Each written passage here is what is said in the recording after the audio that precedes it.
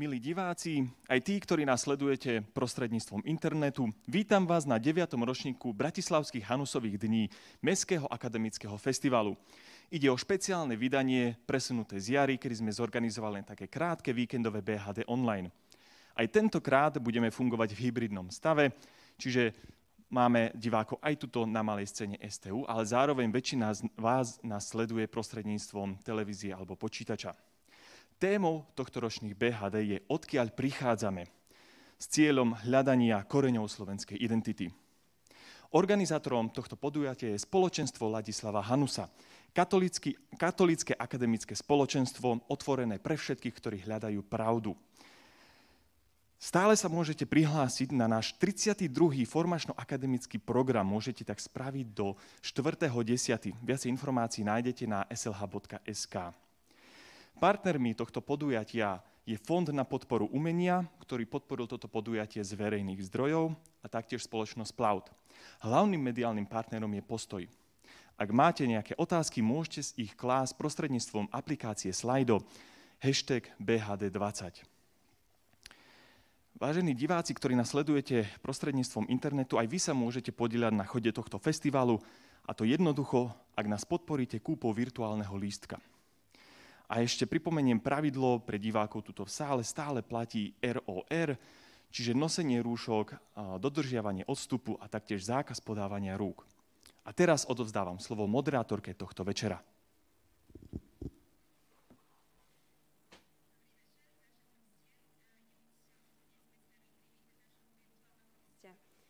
Prvú a jedinú ženu na poste premiéra v Poľsku. Hanna Suchocká, je odborníčkou v oblasti ústavného práva, ako aj diplomacie. Bola nielen premiérkou v 92. a 3. roku, ale neskôr i ministerkou spravodlivosti v 97. až 2000 roku, veľvyslankyňou vo Vatikáne v 2002 až 2013 i prednášajúcou na Univerzite Adama Mickeviča v Poznaní. Študentom vždy dáva priestor vyjadriť sa, či dokonca prerušiť ju, ak, si, ak s niečím nesúhlasia. Mnohí si na nej všímajú nielen jej odbornosť, mm, ale táto odbornosť je spojená aj s úprimným záujmom o človeka a láskavosť. Takto ju opisujú jej kolegovia. S Hanou, Sucho- Suchockou nás spája jedna postava, a to osoba, ktorú Poliaci nazývajú pápežom Poliakom, a my Slováci ho nazývame pápežom Slovanom. V oboch prípadoch však ide o nášho pápeža, ktorý menil dejiny nielen našich dvoch krajín, ale celého sveta. Dnes je sté výročie od jeho narodenia. A tak si aj vďaka nášmu hostovi môžeme priblížiť vplyv Jana Pavla II. na dejiny nášho moderného sveta. A mám dzisiaj wielki zaszczyt tutaj między nami przywitać naszego wirtualnego gościa, pani Hannę Suchocką, z którą nas łączy postać bardzo ważna. Jest nim papież Polak i tak samo też papież Słowan dla Słowaków. Jest to osoba, która nas jednoczy i mam wielki przywilej tu dzisiaj między nami przywitać tego gościa. Już teraz oddaję słowo do pani Suchockiej, która nam w kilka minutach, 20 nam powie coś na temat Jana Pawła II. To proszę bardzo. Ďakujem pekne. Na začiatku chcem veľmi pekne poďakovať za pozvanie, za účasť Hanusových, na Hanusové dni. E, chcela som osobne prísť, pretože viem, že osobný kontakt je úplný iný rozmer a že nehovorím obrazovke, ktorá, ktorá nás unavuje, ale bohužiaľ e, čoraz viac chorých na koronavírus znemožnili prísť do Bratislavy a dúfam, že v budúcnosti sa to stane. Takže dnes, tak jak sme sa dohodli, chcem niekoľko slov, bo čo sa dá povedať o Jane Pavlo, Pavle II za 20 minút. On jednoducho zmenil svet. A my niekedy, mám taký dojem, my, ktorí žijeme teraz, už tak veľa rokov od jeho smrti, netak celkom uvedomujeme si, čo on urobil pre Európu, pre nás, pre naše krajiny zo strednej Európy a pre celý svet. Známy biograf Jana Pavla II. George Weigel povedal a napísal, že Jan Pavel II mal veľký vplyv na osud moderného sveta a modernej, moderných dejín ale povedal ešte, že môžeme rozmýšľať, že tí, ktorí zaoberajú sa medzinárodnými vzťahmi, začali intelektuálne prehlbovať význam medzinárodného, medzinárodných prác Jana Pavla II. a jeho vplyv na tvár a tvárnosť, spôsob robenia, realizovania politiky počas posledných 25 rokov 20. storočia, na začiatku 21. storočia. Vždy, keď hovoríme o úlohe papeža v medzinárodnej politike, vždy treba si postaviť otázku, či to bola len duchovná úloha alebo politická. Ja sama si myslím, že treba veľmi výrazne povedať, že Jan Pavel II nebol politikom v tom čistom svetskom e, význame. Bol duchovým vodcom, ale súčasne ťažko by sa dalo spochybniť jeho e, úlohu v politickom živote. A môže mi bez nejakých prekážok povedať, že on bol štátnikom. Súčasný svet potrebuje štátnikov Ján Pavol II takým štátnikom ku tej kategórii dá sa pripočítať. Nemôžeme spochybniť, že ďalšie roky Jana Pavla II. na medzinárodnej scéne ukazovali jeho novatorstvo. On vždy nás prekvapil. My, čo sme žili, ja som z tej generácii, ktorá žila ktorá, ktorá pamätá začiatok Jana Pavla II. A pamätá v podstate každý deň nových myšlienok, nových ideí, ktoré vždy od samého začiatku boli veľmi prekvapujúce. A tu na začiatok chcem pripomenúť slova, ktoré my všetci dobre poznáme. Vieme to citovať, ale niekedy nevieme pochopiť tú hĺbku, ktorá má byť nejakou šipkom, ktorá má povedať, akým spôsobom robiť politiku. Jan Pavel II, II keď bol prvýkrát e, oficiálne bol na polskej navšteve, nie, ktorý on, bola to na Omši, keď 22. oktobra 78. roku na Svetej Omši povedal tieto slova a povedal, nebojte sa. My to opakujeme, ale za tým išli ďalšie slova, ktoré boli veľmi dôležité, ale potom už sme už ako keby sme o nich zabudli. A otvorte do Koran dvere Kristovi, otvorte hranice štátov, z ekonomických systémov a politických systémov, kultúru civilizácií a rozvoja. To znamená v tom volaní na inauguráciu výzvu.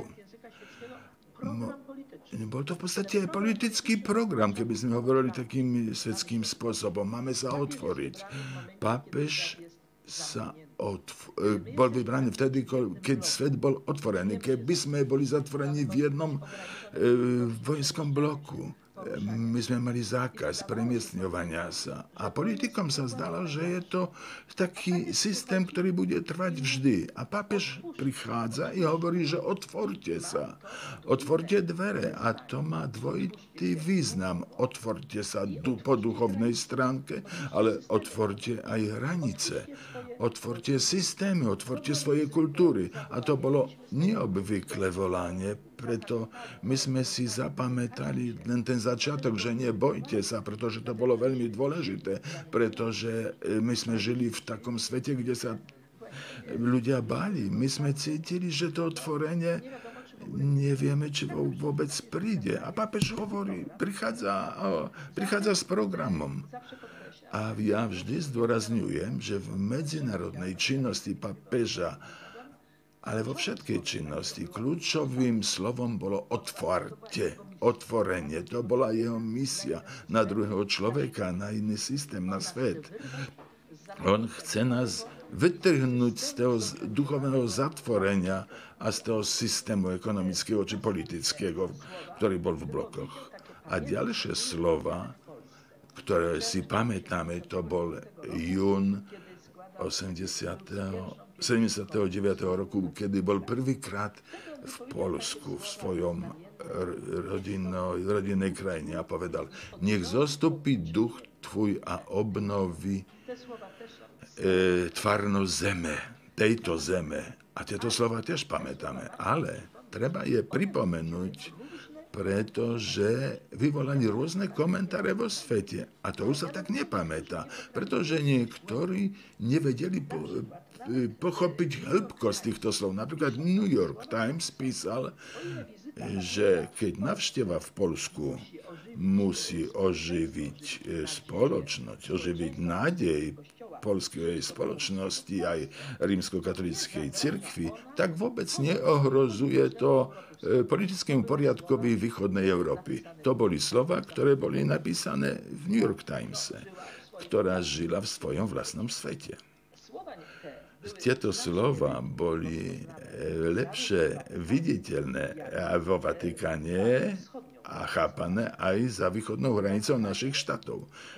Vo Vatikane bolo też určité znepokojenie, pretože bol to čas Ostpolitik, to znamená politika, ktorá bola vedená e, kardinálom Kasaralom, ktorý prichádzal do krajín Strednej Európy, kde hľadal nejaké e, dorozumenie s krajinami e, komunistickými, aby vybudować niejakie vzťahy, ale na, które by wychadzali z koncepcji rozdzielonego świata. Ale Jan Paweł II chcel toto zmenić. A wtedy Watykan cítil takie zniepokojenie. Kasaroli zapytał, co on chce robić. On chce otworzyć cestu na prewrat, a teraz możemy rozmyślać, że tato otázka była e, súbežná z určitým nepokojom v Sovietskom zväze, keď Andropov tiež rozumel, že táto navšteva, aj tieto jeho slova, ohrozujú vnútorný poriadok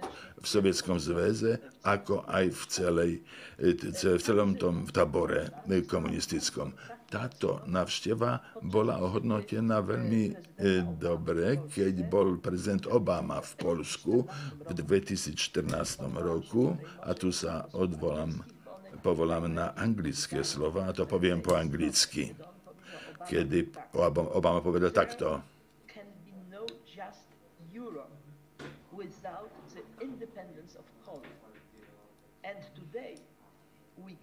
Thanks for the fearless spirit of St. John Paul II. E, Obama użył tego słowa. Obama použil słowo. Czyli ten pozbawiony lęku duch. Czyli duch, który sa nie boi, albo um, rozum. A tieto slova, keď, v ktorých on vzýva nás, nebojte sa, v podstate to je dôkaz na to, že on sa nebojí pretože strach nás zatvára a keď sa nebojíme, vieme sa otvoriť. Pre Jana Pavla II veľmi bolo dôležité, že Európa musí byť Európou dvoch častí. On sám vyrastol v tejto Európe, celý osobná skúsenosť bola spojená s Európou, bola to skúsenosť s ťažkou Európou, s Európou vojny, s Európou, v ktorej sa zrodili dve totalitárne systémy komunistický systém, aj fašistovský, fašistický systém. A potom postavenie múru v centre Európy, to bolo pre neho výrazným materializáciou Jalty. A keď Jalta pre Jana Pavla II bola výrazným e, stretnutím dvoch koncepcií. Koncepciou falšného promo, promo, pro, propagovania komunizmu a takého pravdivého humanizmu, ktorý mal by zmeniť tvárnosť Európy. A to, to, až potom to bolo otvorenie Európy a spojenie sa Európy. Vízia Jana Pavla otrasla východnou politikou, ktorá bola realizovaná vo Vatikane. Ale Jan Pavel II necítil sa e, spojený s tými systémami, ktoré boli uzatvorené pred viacimi ako desatimi rokmi. On bol, bol Poliakom, po voľbe stal sa Rimanom, ale už pani moderátorka povedala, že veľmi pekne to povedala, že to je váš papež Polak, ale to je aj váš papež e, Slovak. A ja, keď som bola veľvyslankyňou e, v Ríme, tak som počula, počúvala takéto e, slova, že náš papež Riman, náš papež Talian. A čo papež robí, aby vzniesť, vznechať z tej krajiny, ktoré boli za e, č, železnou oponou. On, keď bol zvolený, tieto naše krajiny boli za murom, ale pápež už mal tú víziu. A v podstate on vtedy povedal o tom v Polsku a ďalej pokračuje. V 1998 hovorí o tom a vyhlasuje nových e, patronov Európy svetého, bol to svätý Cyril a svätý Metod. A to znamená svety, ktorí pochádzajú z, tých, z toho regiónu, kde sa my nachádzame. Pretože predtým jediným patronom Európy bol svätý Benedikt, to znamená západný e, svety. A Jan Pavel II robí taký symbolický, symbolické gesto, že kanonizuje dvoch svetých, dvoch svetých a robí z nich patronov, patronmi Európy.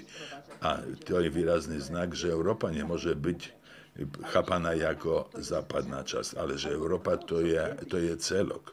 To znamená to, čo pred s tými rokmi boli kresťanstvo sa premenilo na Európu a nemôžeme na to zabúdať. A to je veľmi jasná vízia. A jednočasne chcem veľmi výrazne zdôrazniť, že Jan Pavel II nebol, jak by sme to povedali, mne bola tá vízia eurocentrická, že on sa zatváral v Európe a nevidel iný svet. On v podstate učinkoval v celom svete, ale rozumel, že kým, e, e, keď bude rozdelenie Európy, tak nikdy nemôžeme sa otvoriť na celý svet.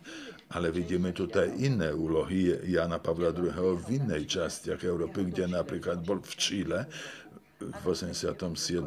roku a potom v ďalších rokoch aj na, bol na Kube, kde vždy sa snažil hovoriť o otvorení. A tá základná misia sa opierala alebo vychádzala z takých aktivít, ktoré e, robila, e, e, ktoré robil Vatikán. Že niektoré prostriedky, ktoré boli používané Vatikánom, oni majú iný rozmer ako, ten, ako tie prostriedky, ktoré používajú e, vlády, e, vlády civilné. Oni vždy vychádzajú o pok- mier, spravodlivosť, solidaritu a milosrdenstvo. To je štyri hodnoty. Keď teraz počúvate papeža Františka, tak tiež môžeme odniesť odkaz na tieto štyri hodnoty. Ale o, tieto hodnoty boli, boli viditeľné v každom vystúpení Jana Pavla II. Nemám túto možnosť, aby som e, hĺbšie analyzovala e, tieto slova, ale chcem jedine povedať, že Jan Pavol II Týmito hodnotami e, reformoval, pokúšal sa reformovať svet.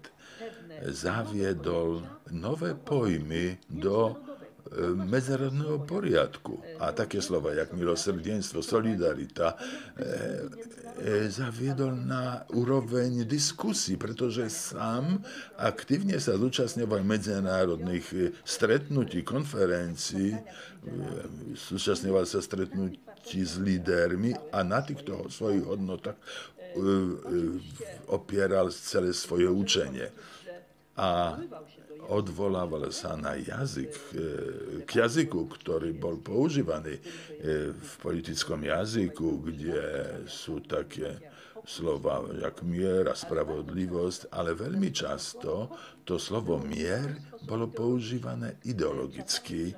Niekedy bol to nástroj napätia medzi e, dvoma tabormi. Ale Jan Pavol II používa ten pojem, tento pojem, je to pojem taký pastoračný, e, ako keby z, z iného sveta, ale povedzme, že z inej oblasti.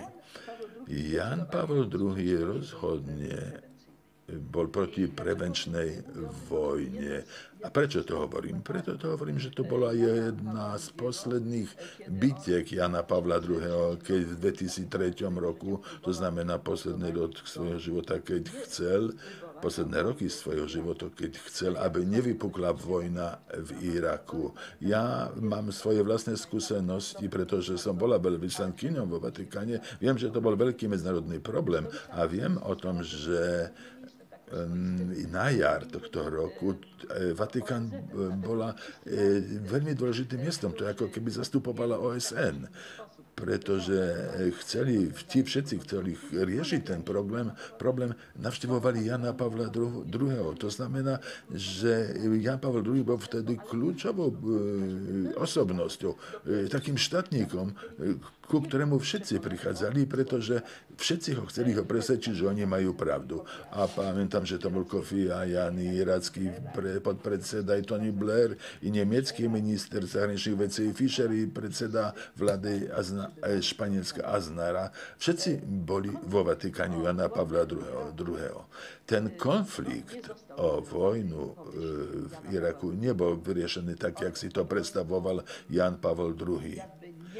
On ako keby nepresvedčil lídrov, ale počase, že tí líderi, lídri, ktorí e,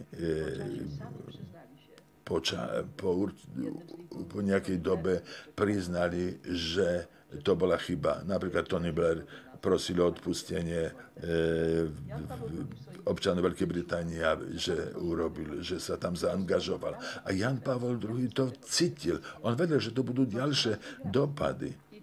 A takéto sú dopady. To je migrácia, rast migrácií. A vtedy Jan Pavel II ako keby to predvídal a pre, prehovoril, aby všetci hľadali mierové prostriedky, aby sa tá vojna nezačala, pretože do, dopady tejto vojny budú nevierohodné, strašné, ťažké. A potom ešte, jak Pavel, jak Pavel II videl, i videl hodnotu otca. Jan Pavel II vyrastal v krajine, kde pozeral na evolúciu práv človek, ľudských práv. A pre neho Organizácia spojených národov to bola jedna z tých inštitúcií, možno aj kľúčová inštitúcia, v ktorej cieľom a centrom záujmu bola ochrana ľudských práv. A preto videl veľkú váhu OSN a niekedy som si myslela, že, že to bol jeden z malá ľudí, ktorý tak veľmi veril v úlohy OSN-u. A vtedy až tak veľmi silno angažoval sa v tejto vec, v túto vec a preto on chcel, aby ten konflikt bol vyriešený v rámci OSN a nie, aby to riešil jeden štát, ktorý chcel e, vyvolať tento konflikt, konflikt e, vojnovým spôsobom. Jan Pavol II e, o OSN už v svojej encyklike Redemptor Hominis, keď výrazne hovoril, že je to organizácia, ktorá má vynimočnú úlohu pri ochrane ľudských práv. Môžem povedať, že Jan Pavol II zdôrazňoval úlohu OSN, aj keď mal niekedy negatívne skúsenosti s tou organizáciou, pretože v niektorých prípadoch E, keď boli OSN chceli zaviesť prá- ľudské práva ako právo o pr- prerušovanie tehotenstva, ale to, e, bolo to, to bol stred, ale nestratil záujem spolupracovať i nechce zmeniť e, názor, že OSN má veľký význam pri riešení svetových konfliktov A v tejto koncepcii Jana Pavla II. okrem otvorenosti bolo slovo dialog. Ja samozrejme o dialogu by sme mohli, mohli hovoriť na celej konferencii. Ja vidím, e, pozriem na hodinky, ale ešte niekoľko vied poviem. A to znamená, že dialog je to ďalšie, ďalší dôležitý pojem Jana Pavla II. On rozvinul koncepciu dialogu. Napísal takto, že dialog, ktorý rozumieme ako metódu a prostriedok vzájomného poznávania sa a obohatenia, nie je proti Agnentes, ale je s tým spojený. Pardon, nerozumiem. Ja rozumiem, že my rozumiemy, że dialog w naszych sztatach, że w postaci mamy konflikt, że już nikt to nie rozprawa, że ten dialog nigdzie yy, zanikol. Dialog to znamená otvorenie sa na druhého. Možno prijať jeho jako, že možno aj on má nejakú pravdu. Takže samozrejme hovoril aj o ekumenickom dialogu, to znamená z 1995 roku v jednej svojej encyklíke. Jan Pavel II, jak pamätáme, nielen hovoril o dialogu, ale aj realizoval tento dialog. Ale stretával sa s odporom, pretože prvé stretnutie medzi náboženstvami v Assisi, ktoré e, bolo takým hľadaním dialogu, vôbec nebolo dobre prijaté vo Vatikáne. Preto myslel si on, že to musíme urobiť, že keď nebudeme dialogovať, nebudeme hovoriť, tak zostaneme vo väčšnom konflikte. A čo bolo dôležité aj e, symbolické. E, to znamená, keď v New Yorku 11. septembra vo svete vznikol spôsob hľadania alebo atmosféra pomsty, to Jan Pavol II vždy postavil na dialog. Ja už pamätám, že bola som už vo Vatikáne a v januári 2002 zvolal veľkú konferenciu alebo stretnutie hlavných eh, li, e, náboženských lídrov v Asisi. Bol pozvaný celý diplomatický zbor, aby sme hľadali v tejto strašnej situácii nejakú dohodu. Eh, tá dioga, dro, cesta dialogu bola realizovaná v tých najviac horúcich miestach sveta. Od samého začiatku svojho pontifikátu chcel riešiť, hľadať e, riešenie v dialogu Chile, e, Chile Argentíny. Papiež sa tam e, angažoval a, a navrhoval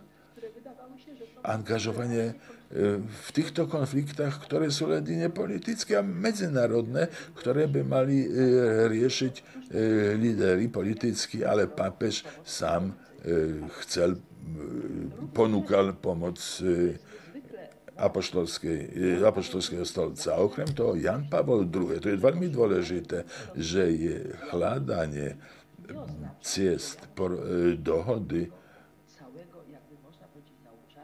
že ja musím odísť alebo odstúpiť od toho, čo naučam alebo čo nosím v sebe, ale musím hľadať, rozumieť druhého človeka, že možno na tejto ceste sa niekde stretneme a ten problém budeme môcť riešiť. A ešte jeden e, problém. E, okrem OSN Jan Pavel II veľkú vážnosť dal Organizácii bezpečnosti a spolupráci v Európe. OBSE. E, apoštolský stolec bola na zač- od samého začiatku bola členom. To určitá bola pochybnosť, pretože e, Vatikán sa stal e, sa stal, pretože to bolo v rámci koncepcii východnej politiky Casarelliho že to členstvo v OBSE bolo dopad veľmi pozitívny, pretože sa mohol angažovať v medzinárodnej v medzinárodnej scéne a za, za, i zúčastňovať sa určitý, riešenia určitých e, problémov, jak napríklad vzťahy s pravoslavnými cirkvami, kde OBSE dovolovala diskutovať na túto tému. To bol kľúčový prvok, že OBSE bolo veľmi dôležité pre Vatikán. Poprvé, že konferencia v Helsinkách v 70. rokoch sa začala zaoberať ľudskými právami v rámci tretieho koša, čo bolo veľmi dôležité, pretože tam iš, išlo aj na náboženskú slobodu a súčasne OBSE neobmedzovala len na západné štáty, ale v podstate boli v nej všetky štáty Európy, aj prekročila tie hranice, pretože našla, ale ob, boli tie, ale sa zabrali tými štátmi, ktorí vo východnej Európe. Okrem toho druhým argumentom, veľmi dôležitým bolo to, že OBSE prekračuje hranice, ktoré boli určené teraz len pre, pre Európsku úniu, pretože boli to krajiny mimo Európy, mimo Únie, ako napríklad Kanáda, Spojené štáty, Rusko a dovolovalo to riešiť problémy medzinárodné, ktoré, ne, ktoré netýkalo sa len čisto Európy. Veľmi dôležitá bola ešte idea solidarity a to tiež bolo veľmi výrazne zdôraznené vo všetkých vystúpeniach Jana Pavla II. Bola e, výrazne formulovaná v encyklike už v 87. roku, ale zopakovaná aj v druhej encyklike z 91. roku tá idea pre eh, solidarity pre Jana Pavla II. bola veľmi e, druhou stranou pre tie e, toky spojené s globalizmom. On nevidel globalizmus ako e, niečo zlé. Nekritikoval až tak veľmi, ale, ale je dobrým výsledkom rozvoja, keď budeme globalizovať solidaritu a nielen konflikty. konflikty. Globalizácia je nevyhnutná, nehodnotil, ale uvážal, že globalizácia, solidarita je odpoveďou eh, na súčasnosť. A nakoniec, reasimujúc vízia Jana Pavla II. medzinárodného poriadku bola víziou holistickou, celkovou, duchovou aj politickou. E, e, konečný efekt toho politického, tak môžeme to povedať, e, Jana, angažovanie Jana Pavla II. bol dosiahnutý. Európa bola spojená. Zmizol múr ja stále hovorím, že keby nie úloha Jana Pavla II. v 78. roku, aby sme prekročili a otvorili hranice, došlo by to, ale nie tak v krátkej dobe. Veľké množstvo bývalých komunistických krajín sa stali členmi Európskej únie a môžu to vďakovať pontifikátovi Jana Pavla II. Myslím si, že veľmi dôležitá je zásada, v ktorej určoval e, úlohu, alebo Marek, Mark Politi v 1914, to bol levicový novinár, povedal takto. E, Karolovi Vojtelovi podarilo sa e, spojiť v jedno, a to je veľmi zriedkavý koktajl, človek viery, filozof, filozof dejín, veľký človek komunikovania sa a geopolitický vodca. On takto e, videl Jana Pavla II, že on po rokoch stal sa veľmi zaujímavým človekom nielen pre katolíkov, ale pre židov, moslímov, agnostikov, aj pre tých, ktorí sú z, z ďaleka, z veľkej diaľky pozerajú na všetky ideje transcendentné. A z pohľadu na ochranu ľudských práv a na jeho angažovanie sa v, v dialog a otvorenosť. Myslím si, že tieto ideje, ktoré nám vložil eh, Jan Pavel II, nie sú vždy politykmi realizované. No niekedy, politici sa niekedy odvolávajú na to, ale bohužiaľ nie, sú veľmi ďaleko od realizácií. Myslím si, že jedným z dôležitých e, e, vystúpení Jana Pavla, to bol Olaf Palme, ktorý e, tiež sa odvolával na to, čo, o čom hovoril Jan Pavel II, že tie rozhodnutia musia byť realizované v spôsob taký, aby boli umiestnené e, mimo zatvorenia v jednotlivých národných skupinách alebo štátoch.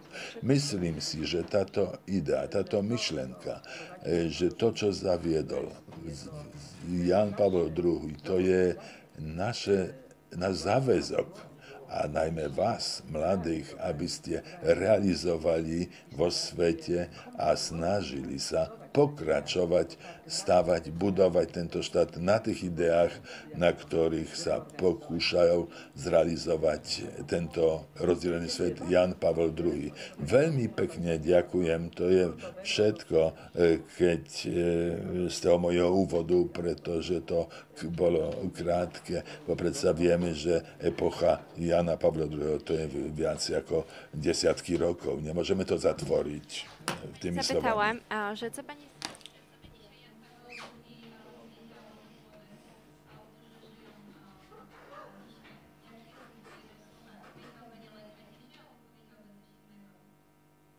No na pewno by powiedział też, nie lękajcie się. Na pewno by powiedział, nie bojcie sa. Czy się lękać? Ja tylko mam To, było, to slova, nebojte sa. Jan Paweł II. Ale prawdopodobnie Jan Paweł II, On by, e, jakby można powiedzieć, e, jakby sa dalo teraz povedať, wyraźniej e, jeszcze jeszcze wyraźniej Nie lękajcie się. e, to heslo určoval pre duchovný rozmer. Pretože v súčasnom svete.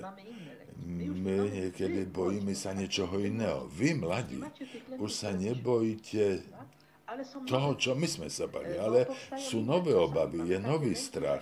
Je to strach, obava priznať e, sa k transcendencii. Ja, e, pa, Jan Paweł II by nám povedal, nebojte sa. e, toho. Niekedy bojíme sa toho, že być, musíme byť aktívni, všade byť činní.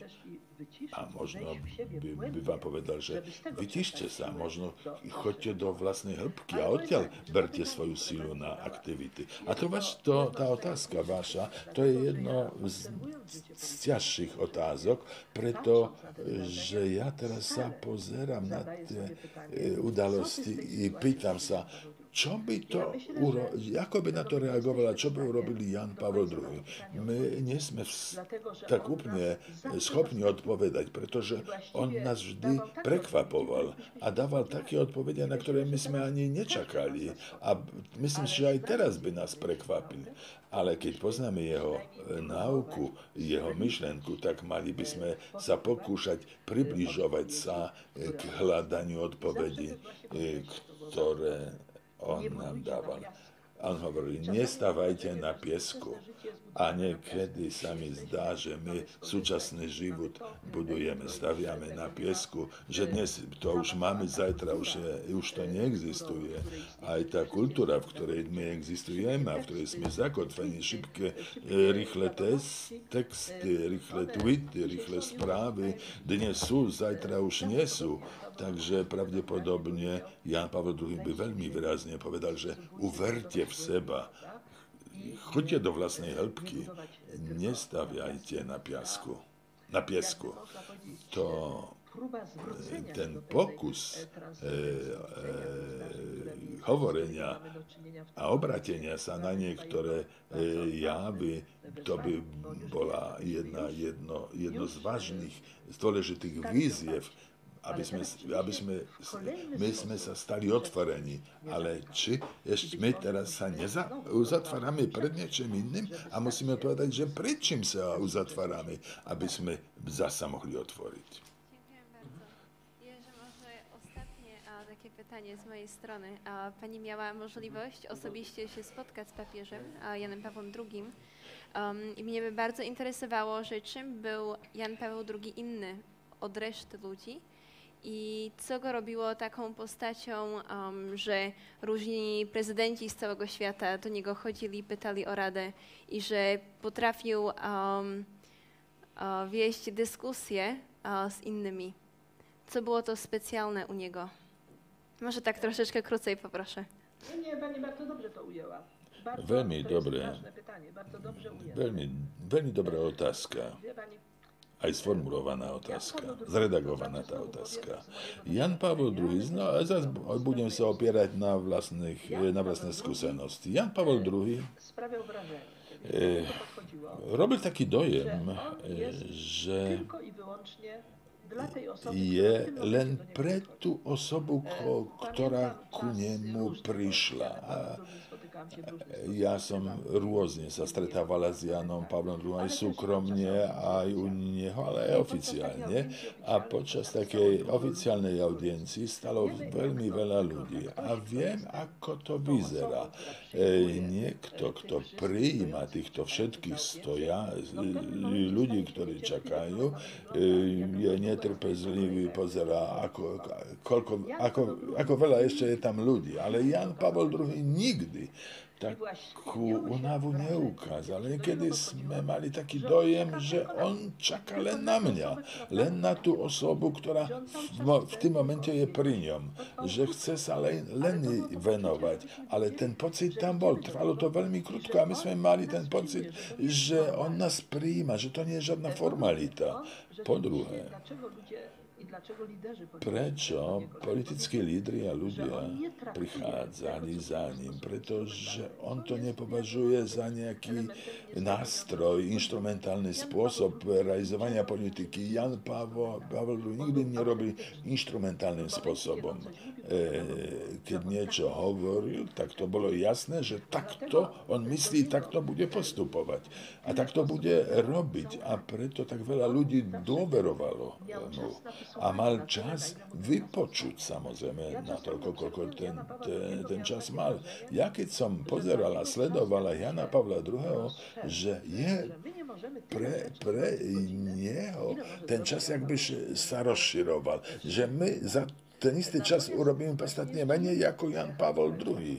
A ešte jeden taký výrazná charakteristika zo súkromných stretnutí Jana Pavla II. Vieme, jak to je, že keď my sme pozvaní na súkromné stretnutie, takže host nám je veľmi dôležitý host chce nám všetko niečo povedať, ale Jan Pavel II vždy v podstate mlčal, len počúval. On nehovoril, že ja to, ja tamto. A on mal také gesto, oprel hlavu o ruku na, a, a počúval, čo ľudia hovorí. On chcel sa dozvedieť čo najviac. Chcel mať informácie. I on samozrejme na základe informácií vytváral svoje myšlenky, ale nespier, nie, nie, nie, nevytváral spor s tým svojim e, e, človekom, s ktorým rozprával, počúval. A to bolo pre nás veľmi dôležité, pretože my sme sa vtedy cítili taký vážni, že Jan Pavel II nás počúva. A potom nakoniec, alebo počas povedal dve, tri vety, ktoré e, boli veľmi dôležité a potom sme to zistovali, že tá jedna veta, v podstate jedno, je- jedna veta hovorila, to bolo rezime celých, celý našeho, celého toho rozhovoru. Ale aj pre neho bola tá vízia. To, to vízia, on bol charakteristický tým, že on predvídal to, čo politici by mali, ale oni to nevedeli, pretože oni nie, nemysleli, no političná vízia e, bola taká, že on to videl. Ten celý jeho charakter, ten jeho spôsob videnia druhého človeka, že ja som pre teba, keď ku mne si prišiel. A to je to najdôležitejšie, čo som si ja zapamätal s- po každom stretnutí s Janom Pavlom II. Vždy som sa bala, že on nemá čas, ale on to e, nikdy ani ukázal, že nemá čas. A to bolo osobné znaky, dary jeho osobné, ktoré veľmi mi pomohli a preto ľudia ku nemu sa hrneli, hrnuli. Veľmi pekne ďakujeme, že našla pani čas a ďakujeme za všetko. Ďakujem. Będziemy mieli drugą część programu, a to powiem w języku słowackim do gości. Dobrze? Dziękujemy jeszcze raz. Um, ja by som... No, áno, môžem za, zatliskať? Pani słyszy, tak? Oklas. Dobrze, do widzenia. Um, a teraz môžeme teda prejsť do druhej časti nášho programu. Už by som medzi nás pozvala moderátorku druhej časti a to bude Žofia Majdeková. Nech sa páči. Hop, tikičko.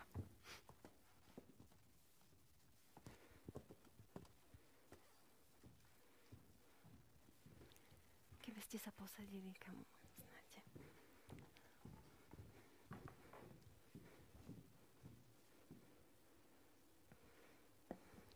Ďakujeme, Anička.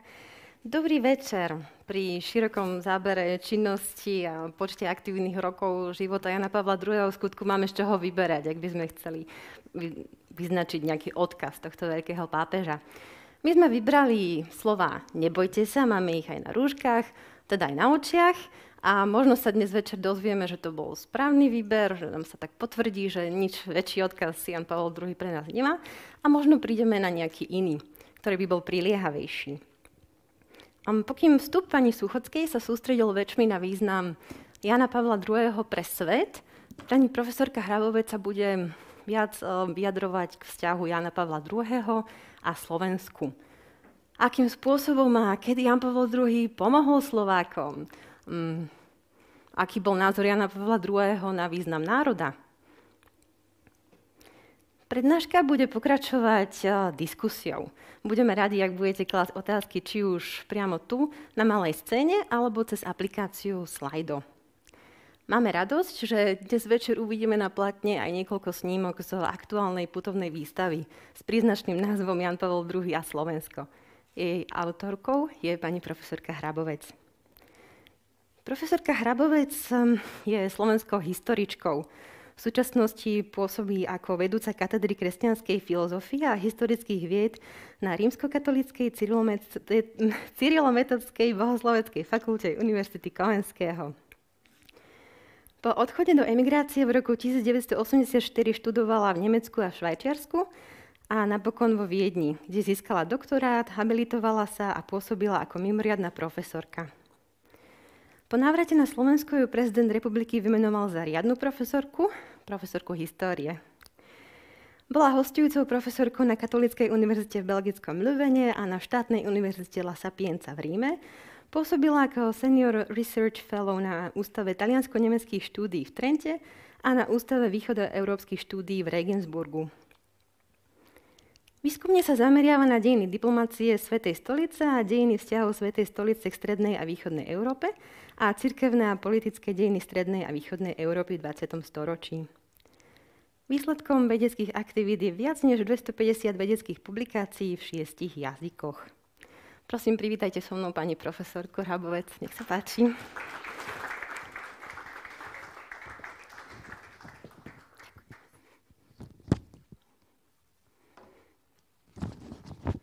Pekný dobrý večer všetkým. Som v takej nezvyčajnej situácii, že vás nevidím. Takže sa domnievam, že tu všetci sedíte, ale ja sa pozerám iba na reflektory, eh, ale som v duchu s vami. A budem sa k vám prihovárať.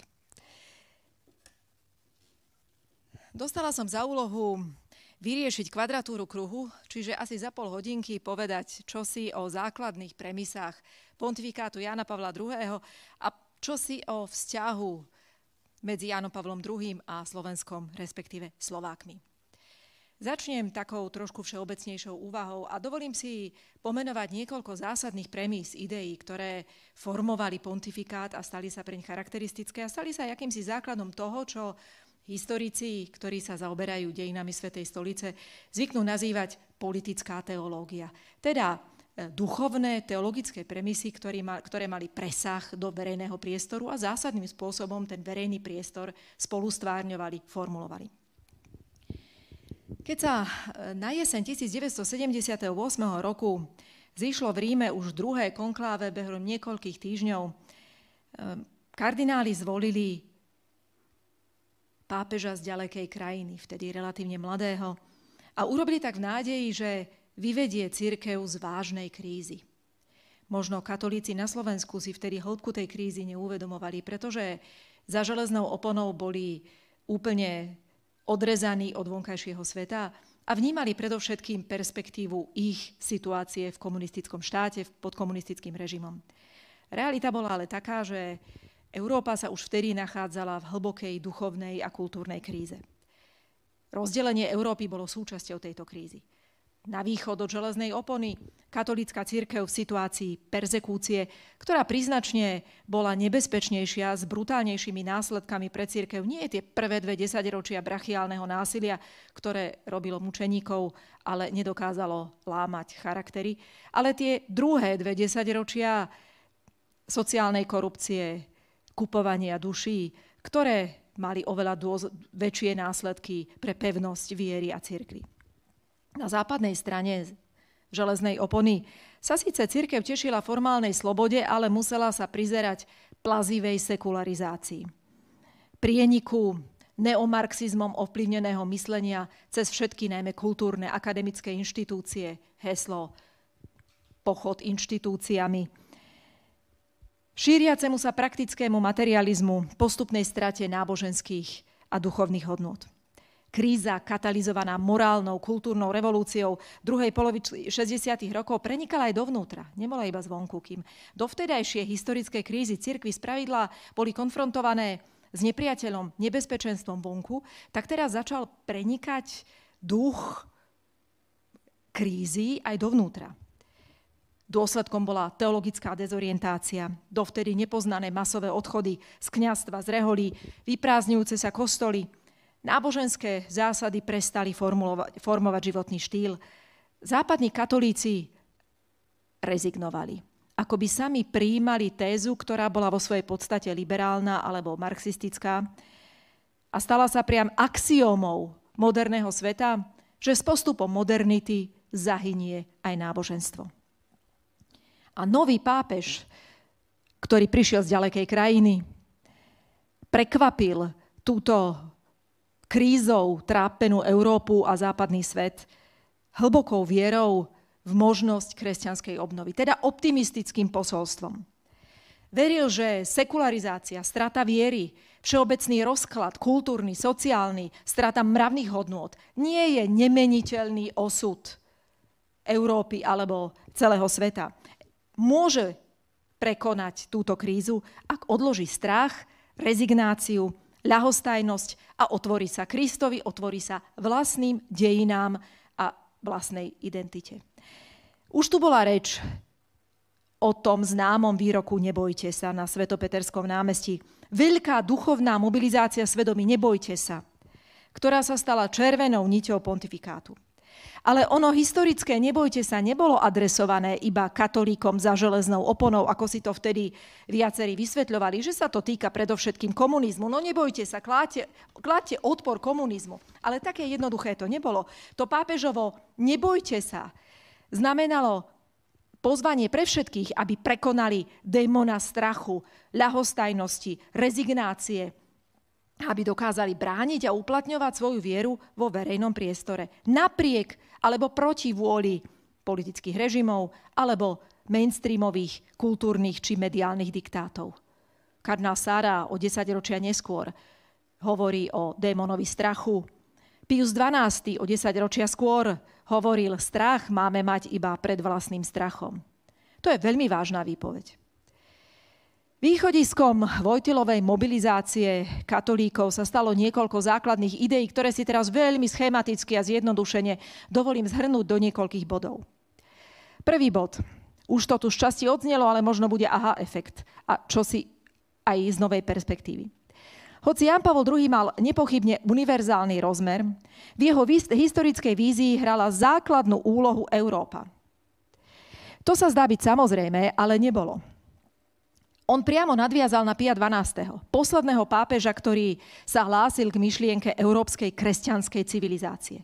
Jeho nástupcovia Jan 23. Pavol VI sa síce v prejavoch magistéria takisto venovali Európe, ale tak trošku akoby stíšeným hlasom, pretože v strachu, že by ich mohli obviniť z europocentrizmu, triumfalizmu, postkolonializmu alebo kadejakých iných izmov, sa tak trošku vyhýbali zmienkám o osobitnom význame Európy pre církev.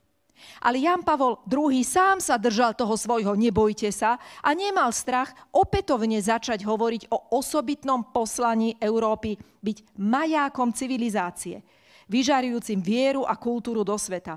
Ani prejaviť presvedčenie, ktoré Jan Pavel II často hovoril, najmä v úšom kruhu medzi priateľmi, že církev bude mať problém, keď stratí Európu. Takže Európa, prvý bod. Druhý bod. Historickým duchovno-kultúrnym fundamentom Európy je kresťanstvo. Z neho vyrástla, kresťanstvo sformovalo formu, identitu európskej civilizácii. Ak však Európa vyrástla z kresťanstva, potom je kresťanstvo kritériom európskosti. Pravým zdrojom je jednoty.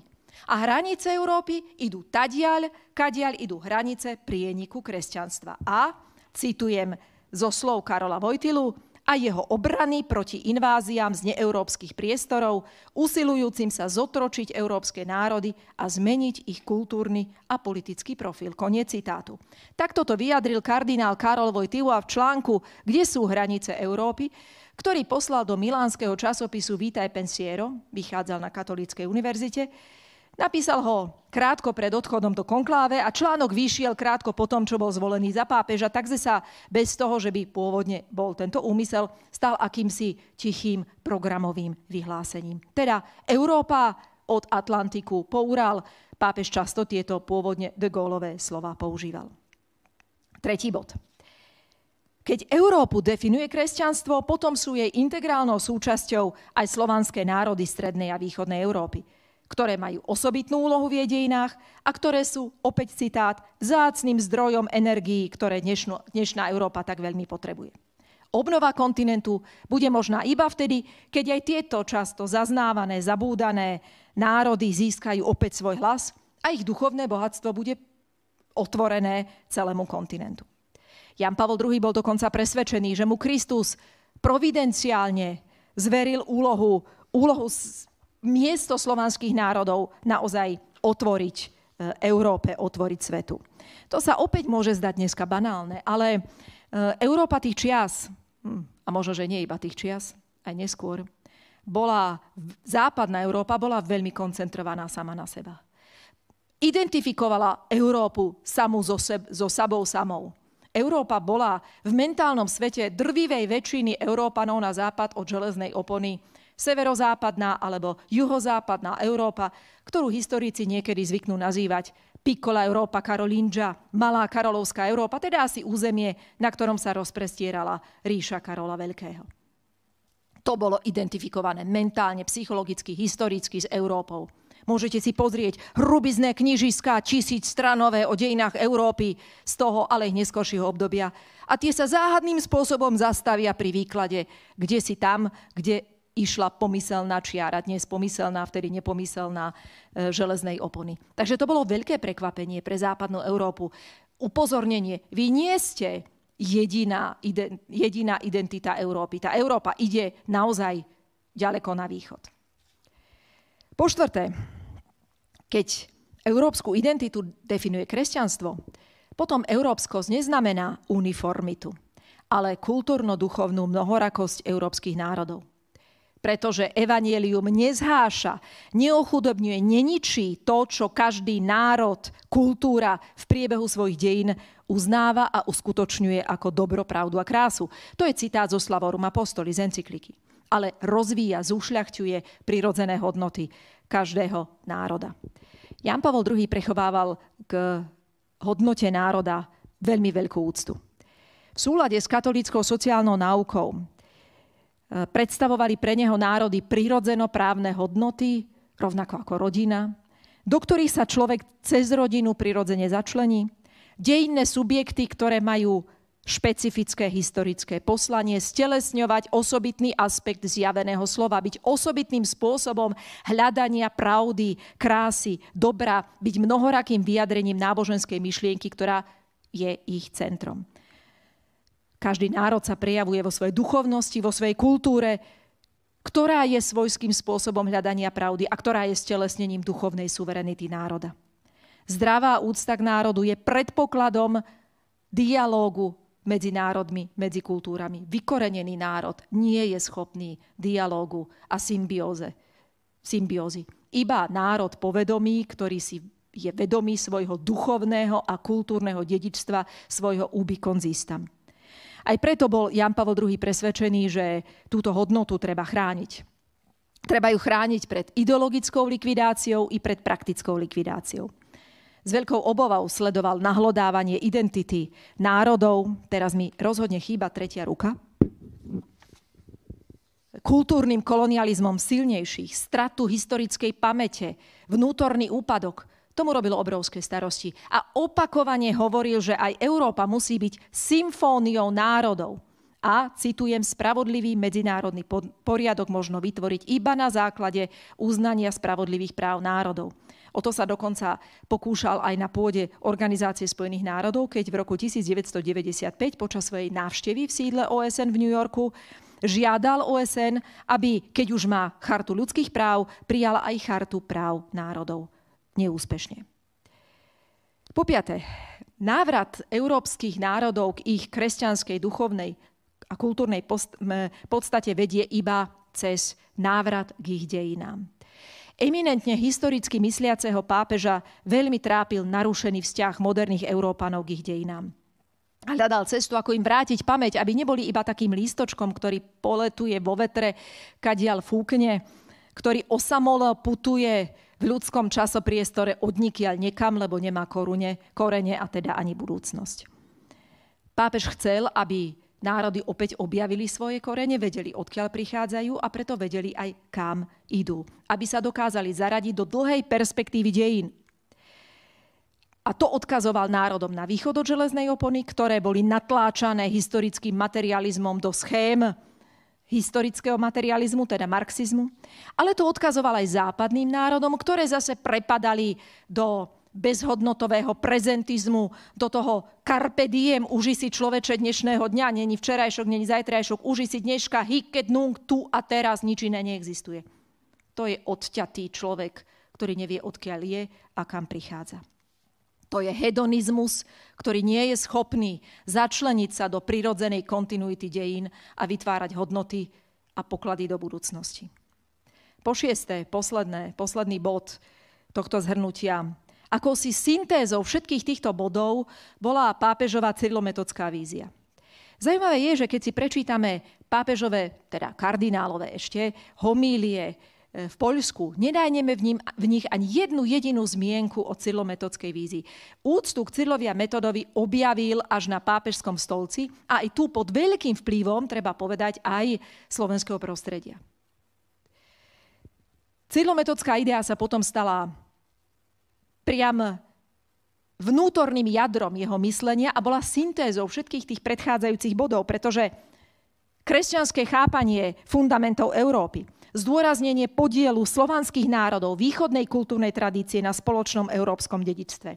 Úcta k osobitnej duchovnosti, kultúre každého národa, misijné poslanie kresťanstva, harmónia medzi vedou a vierou, jednota v rôznosti, to všetko bolo integrované vo výpovedi Cyrlometodskej vízie, ktorú sám pápež vyjadroval oným toposom, ktorý prevzal od rúského filozofa Viačeslava Ivanova o oboch poloviciach plúc, teda Európa má dýchať oboma polovicami plúc, aby vedela prekonať krízu a opäť sa stať majákom civilizácie, ktorý bude duchovne a kultúrne vyžarovať do celého sveta.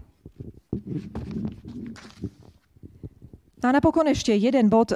Jan Pavel II vychádzal z filozofie dejín, ktorá chápala dejiny ako zápas evanielia a antievanielia, teda dobrá a zlá.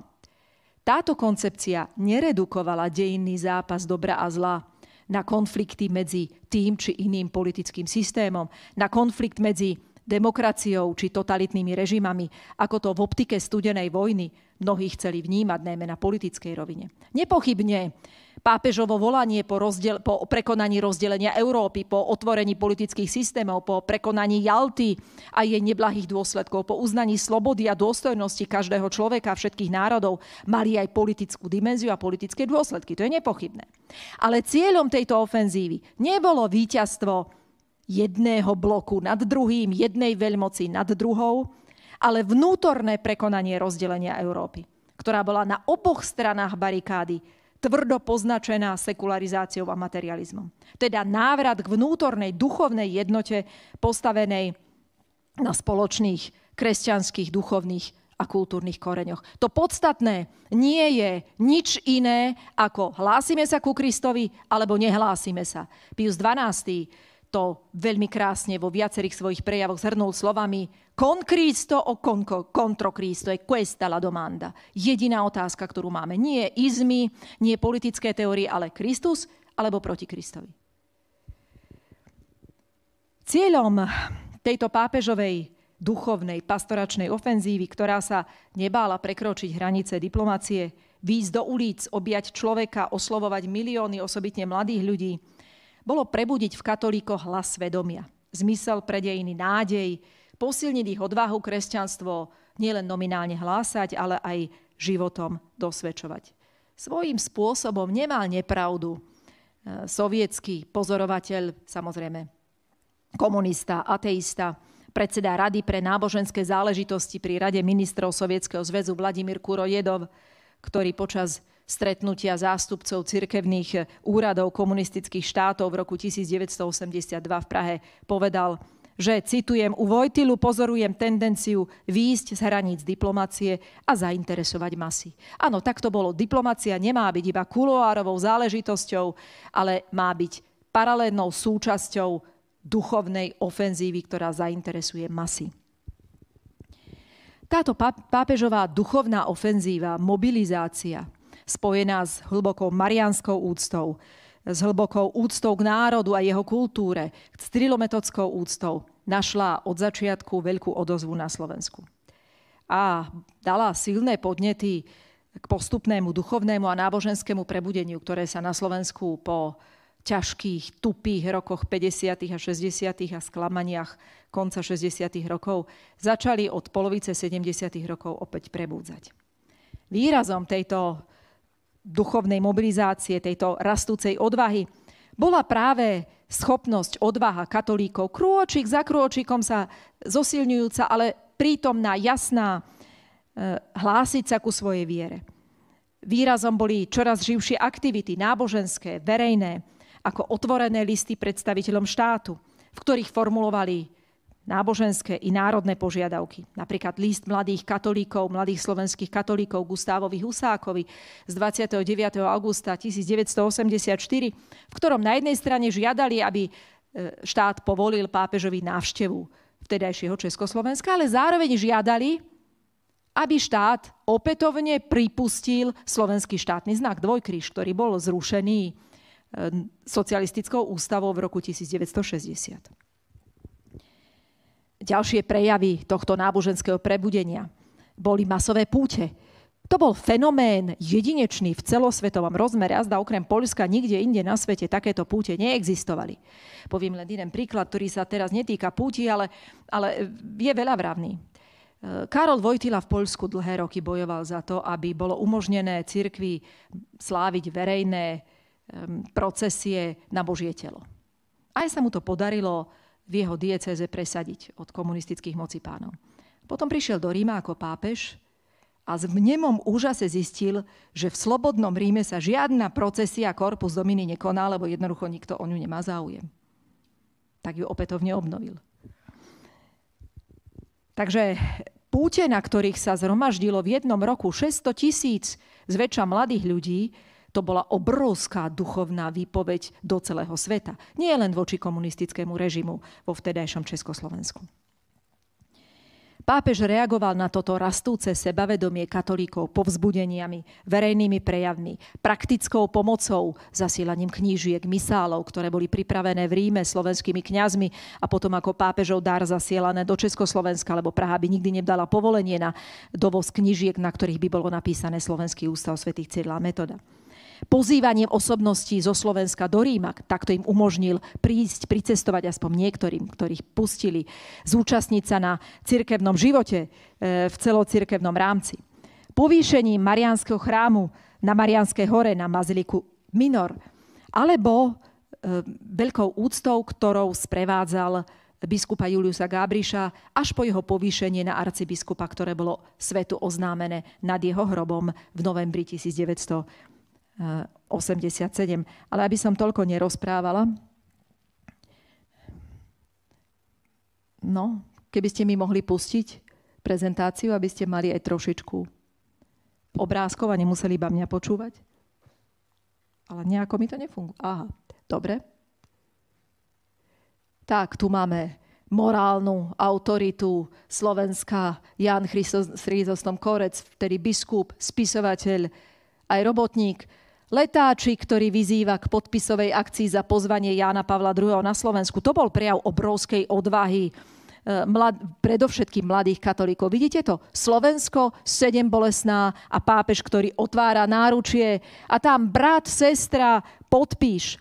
A na Slovensku sa získalo 16 tisíc podpisov zväčša mladých ľudí iba v prvej fáze zbierania podpisov. Potom prišli ďalšie fázy zbierania podpisov. A tí mladí ľudia mali odvahu podpisovať, aj keď potom skončili vyhodení zo školy, vyhodení z práce, v studených eštebáckých vyšetrovniach.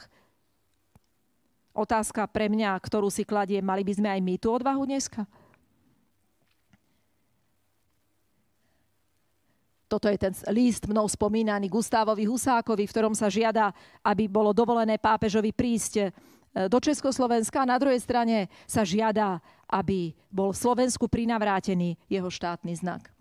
Ale ešte z predchádzajúceho listu. Prečo tieto listy citujem? Pretože sú prejavom veľkej temer detinskej úcty a priamosti, s akou sa mladí ľudia obracali na pápeža. To nie je ustrašený protokol, kde nevedia mladí ľudia, ako sa mám vyjadriť, aby to prešlo nejakým protokolárnym sitom e, pri Svetej stolici, ako to mám sformulovať, aké učené oslovenie mám dať. Toto je jednoducho hlboko ľudské, tak veľmi potrebujeme, aby ste prišli. Závidíme iným národom, ľudsky povedané, kde je menší pomer katolíkov ako u nás a ktoré ste už navštívili. Modlíme sa, aby ste prišli. No a tu sme už pri biskupovi Gábrišovi. Karol Vojtila spoznal Gábriša na synode v roku 1977 a naučil sa veľmi rýchlo vážiť si ho. Gábriš prešiel cez svoj biskupský život veľkou transformáciou. Z takého trošku ustrachaného, e, bojaceho sa súputníka, člena Pácemin Terris, e, ktorý skláňal hlavu pred režimom, do odvážneho a statočného odporcu režimu, ktorého si vo Vatikáne a najmä osobne Karol Vojtila veľmi vážil. Pozýval ho často do Vatikánu. Hneď v 79. pár mesiacov po svojej voľbe na Petrov stolec ho pozval, aby sa s ním poradil, ako teraz, akú politiku mám zaujať v pokračovaní vatikánskej východnej politiky, čo mám žiadať od štátu, akým spôsobom to mám viesť, ako oživiť církev, ako jej pomôcť. E, na to bol Gábriš v 79. v Ríme a potom opakovane tam viackrát prichádzal. Toto je krásna fotografia, kde pápež požehnáva Juliusa Gábriša a farára Karola Kolečanského, ktorý vyštudoval v zahraničí, vedel dobre po taliansky, biskup mal k nemu dôveru a vždy ho sprevádzal na cestách do väčšného mesta. Jan Pavel II podporil církev na Slovensku aj zmenenou stratégiou vatikánskej východnej politiky, ktorá z defenzívy, teda zo snahy hm, pozbierať odrobinky zo stola mocných, zmenila svoju, svoj prístup e, a z tejto defenzívy vstúpila do ofenzívy. Pápež e, nezriedka hovoril, beda diplomácií, ktorá robí kompromisy beda diplomácii, ktorá robí kompromisy. On sa nebal riskovať aj konflikty s režimom. Klasický, keď zakázal prorežimné kňazské hnutie Páce Minteris v 82. dekrétom Quidam Episcopy. Nebal sa to urobiť. Pavol VI mal predtým strach. Vďaka novej vatikánskej politike, ktorá spájala flexibilitu s odvahou a priamočiarosťou sa potom podarilo dosiahnuť mnohé ústupky predtým nemysliteľné, napríklad v 89. vymôcť od štátu súhlas s menovaním prvého novodobého slovenského metropolitu Jána Sokola a 39 rokov od zatknutia Jána Vojtašáka, e, prvého jeho nástupcu na Spišskom biskupskom stolci. Ďalšou kapitolou, o ktorej dnešný slovenský svet nevie prakticky nič, je veľmi úzká symbióza a spolupráca Jana Pavla II. so slovenským exilom, ktorý bol v čase, keď národ bez slobody vlastného štátu pre svet neexistoval prakticky jediným hlasom, ktorý bránil jeho práva eh, a oznamoval svetu, že tu existuje niečo ako slovenský národ.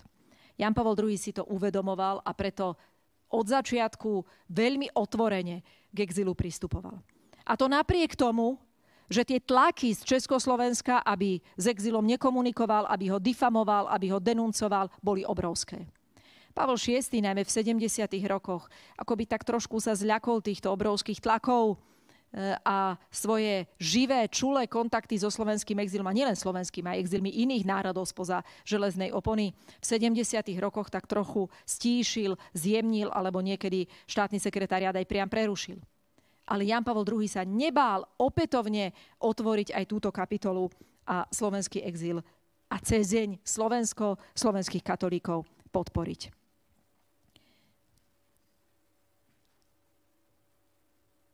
Tak, toto je ikonická fotografia. E, prvé, prvé veľké gesto podpory slovenskému národu aj slovenskému exilu, vymenovanie Jozefa Tomku za arcibiskupa, jeho vysviacka v Sixtínskej kaplnke 15. septembra 79. Hneď tri gestá v jednom.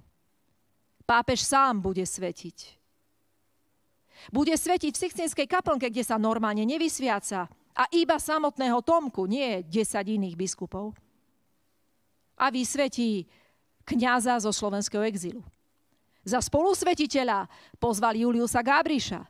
Aj tým chcel naznačiť, neexistuje církev podzemná, nadzemná, zahraničná, domáca, iba jedna církev. A jeden národ. Pravda, režim Gábriša pustil akurát tak z Trnavy do Bratislavy, kde mu oznámili, že nikam nepôjde, lebo si to režim nepraje. Tomko, Tomko eh, potom prevzal post generálneho tajomníka biskupskej synody a obrovsky ťažkú agendu tzv. holandskej synody, tedy, teda riešiť problém krízy katolíckej cirkvi v Holandsku.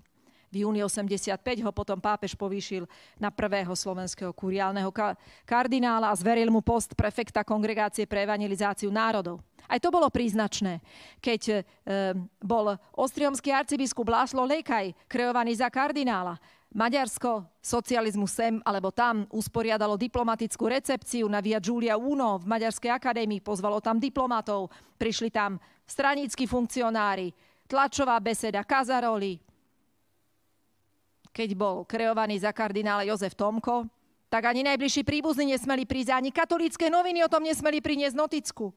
Nie to, že by bol niekto oficiálnu delegáciu poslal do svätého mesta. To je e, jasná výpoveď, v akej zložitej situácii sa katolícka církev nachádzala práve na Slovensku. Padla tu otázka pani Hanne Suchockej, v čom bol iný pápež? V čom bol iný Jan Pavel II? vidíme jednu fotografiu, ktorá hovorí napríklad, v čom z jednej z mnohých vecí bol úplne iný. Toto bol šok pre vatikánsku diplomáciu a pre vatikánsku etiketu, spôsob správania. Vidíte, malí chlapci. Malí chlapci, ktorých si pozval pápež na raňajky 14. februára 1981. S nimi otvoril prvý cyrilometodský rok po vyhlásení svätých Cyrila Metoda za spolupatrónov Európy. 14. február, sviatok, pozvali ich do svojej osobnej kaplnky. To sú chlapci, ktorí navštevovali gymnázium pri Slovenskom ústave svätých Cyrila Metoda s ich predstavenými slovenskými kňazmi, slovenskými sestrami, mocner Hrušovský uprostred, Džavo tu rozliehalo sa po apoštolskom paláci. Viete si predstaviť toľko chlapcov malých medzi 12 a 15 rokov. To bolo Džavo tu a krikotu pri raňajkách. Nikdy predtým sa také niečo v apoštolskom paláci nestalo. Keď zvolili Jana Pavla II. za pápeža, tak chcel tak trošku urobiť aj také ústretové gesto Talianom, lebo si uvedomal, dobre, som Poliak, som cudzinec a mám byť rímským biskupom, tak chcem sa priblížiť ku ním, otvoriť sa ku ním. Pozval príbuzných, blízkych príbuzných Pavla VI. na obed. A oni prišli aj tak trošku s bázňou, si opatrne sadali a potom mu hovorili, vaša svetosť, Pavol VI nás nikdy nepozval ani na pohár vody. To nebolo zlý úmysel Pavla VI. Pavol VI jednoducho bol toho názoru, ja nebudem nikoho privilegovať s tým, že je niekto náhodou môj príbuzný voči tým masám ostatných katolíkov, ergo ne, nepozýval nikoho. Jan Pavol II pozýval všetkých. Každý obed, každú večeru s niekým jedol, niekoho prijímal. A veľmi často práve Slovákov. Blízky vzťah mal pápež aj k slovenským biskupom Pavlovi Hnilicovi, Dominikovi Hrušovskému, ktorého vysvetil za biskupa tiež sám osobne 6. januára 83. Za Vojtilovho pontifikátu pôsobilo v rímskej kúrii na pápežských univerzitách viac Slovákov ako kedykoľvek predtým či kedykoľvek potom. Tento vzťah medzi e, Slovákmi a pápežom však nikdy nebol iba jednostrannou recepciou. Vždy bol vzťahom obojstranným. Vysvetlím. V čase, keď vo veľkej časti laicistického sveta rástla kritika pápežových pastoračných ciest, že sú iba vyhodenými peniazmi, e, keď rástla kritika mnohých jeho postojov považovaných za konzervatívne alebo kadečo možné, zo Slovenska prichádzali spontánne modlitby na pápežov úmysel, pozvania na návštevu Slovenska. Čiže pápež cítil aj istú morálnu, duchovnú oporu na Slovensku medzi slovenskými katolíkmi, ktorej sa mu nie vždy dostávalo v západnom zahraničí. Obrovskú podporu našla v slovenskom prostredí aj jeho cyrilometodská úcta. Nebolo náhodné, že so Slovákmi ju začal, tu táto návšteva. Prvý jeho verejný list cyrilometodský bol adresovaný nitrianskému biskupovi v máji 1981, že ju aj so Slovákmi skončil návštevou Slovenského ústavu svätých Cyrila Metoda.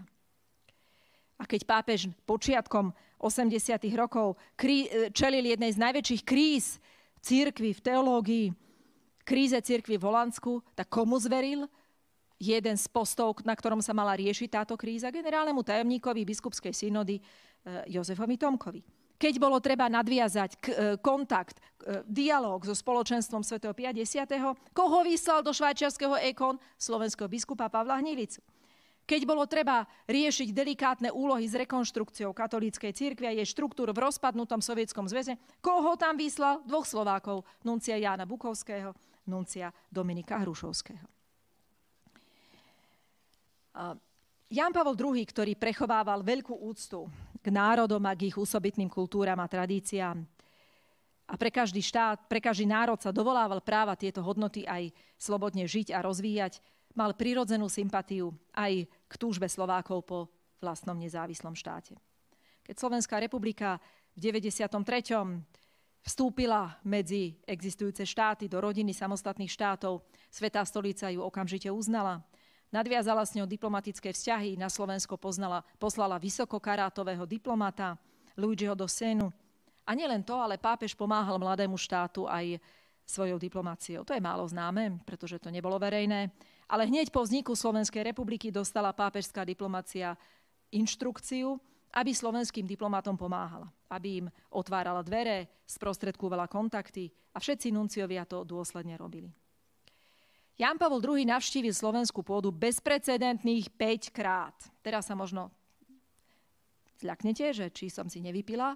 Bezprecedentných 5 krát. Poprvýkrát to bola návšteva Slovenského ústavu svätých Cyrila Metoda v závere Cyrilometodského roku v 81. Morálny aj politický nás, e, význam návštevy bol obrovský.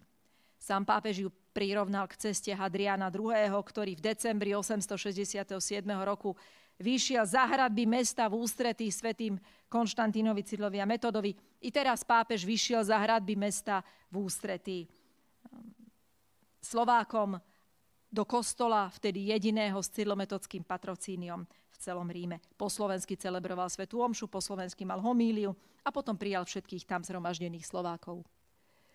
Toto je stretnutie s Pavlom Nilicom. Toto je ďalšie stretnutie so Slovákmi v Castel Gandolfo. Možno si jednu vec všimnete, tá fotografia je tmavá. Tá fotografia je tmavá, ale nie preto, že ju fotograf zle odfotografoval, ale preto, že bola tma. Bolo 9 či pol, desiat, pol desiatej večer, 10 hodín večer. Bolo to 15. augusta. Kedy je takáto tma, ale že tma, tma, iba svetlo muselo svietiť v Castel Gandolfo 15. augusta. O 9. o pol desiatej? Za normálnych okolností pápež o takomto čase nepríjima návštevy. A tu bolo 150 mladých Slovákov, ktorí prišli z Waldkraiburgu v Bavorsku, kde bol prvý svetový festival slovenskej mládeže. A všetci prišli za pápežom. A tam sa 3 hodiny rozprávalo, besedovalo, spievalo spolu s pápežom. V bezprostrednom kontakte, ako keby neboli na protokolárnej návšteve u pápeža, ale ako keby prišli navštíviť priateľa, pastiera. No a tu sme už pri tej návšteve Slovenského ústavu svätých Cila Metoda. Pápež číta homíliu. Druhýkrát navštívil symbolickú slovenskú pôdu v Kanade v roku 1984, 15. septembra, na 7 bolesnú. To bolo počas pápežovej pastoračnej návštevy do Kanady. Keď Kanadiania počuli, že Slováci majú ambíciu, aby pápež prišiel posvetiť ich novú katedrálu, tak si mysleli, že nemajú celkom politický zmysel. Na ich veľké prekvapenie pápež pozvanie prijal a osobne prišiel posvetiť eh, grécko-katolícku katedrálu eh, premenenia pána v Unionville pri Toronte na súkromnom pozemku predsedu Svetového kongresu Slovákov Štefana Beromana. Toto bola ešte nedokončená katedrála. Pápež ju prišiel posvetiť. To bol prvý kostol na celom americkom kontinente, severnom i južnom, ktorý posvetil osobne pápež. Toto je pri vstupe do katedrály pápež, ktorého vítajú slovenské deti chlebom, soľou, kvetmi a slovenskí biskupy, ktorí tam stoja vedľa seba a vítajú pápeža. No a tu sme už pri tej vám asi známejšej tretej návštevy, teraz už reálnej fyzickej slovenskej pôdy.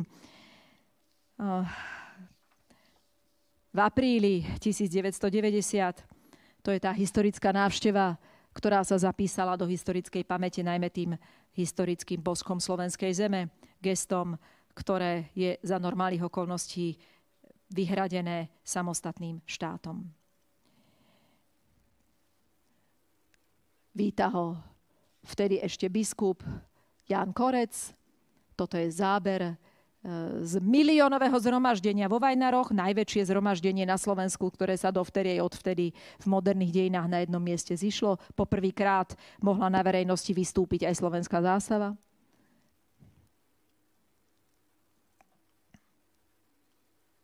A toto je druhá návšteva na slovenskú pôdu už počas existencie Slovenskej republiky v 95.